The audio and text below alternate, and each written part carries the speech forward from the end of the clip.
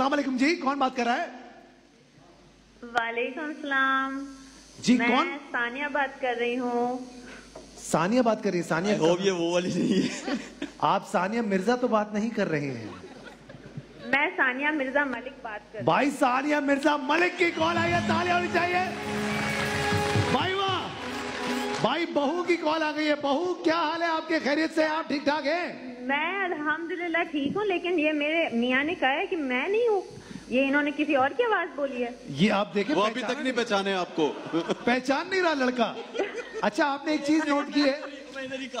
अच्छा माइक में तो बोलो। अच्छा यार यार हाथ तो यार हाथ हो गई।